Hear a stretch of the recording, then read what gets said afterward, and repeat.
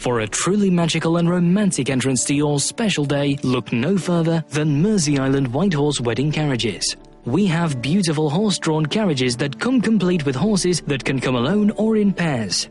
The horses will be harnessed in black paint and leather with silver trims, and your coachman will wear traditional full livery of black dress coats with maroon velvet collars, silver buttons, and top hats. There's something incredibly romantic about a horse and carriage, and we can provide it for you. For further information on the services we offer, get in touch.